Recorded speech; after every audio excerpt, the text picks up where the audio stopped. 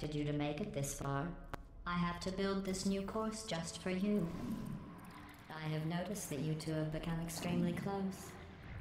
I'm not sure I like that.